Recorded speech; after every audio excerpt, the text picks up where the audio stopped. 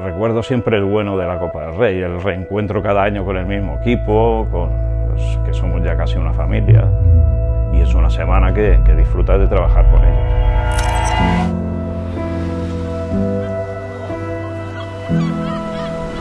Yo empecé a trabajar en el club en el 83 y ya en el 2000 pasé a formar parte de- del equipo de oficiales.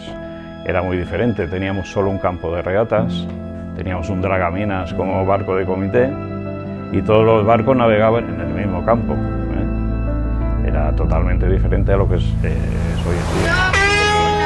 ORC One Class, señal de atención, clase ORC 1. Creo que fue en el año 2007 cuando empezamos a montar ya tres áreas y empezamos a ampliar el tema de las clases.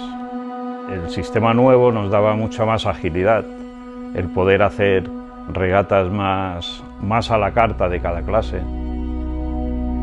Lo que nunca cambiaría es la- las, las ganas con las que la gente viene a Palma cada año. ¿no? Es cita obligada para casi todos. Que eso no cambie.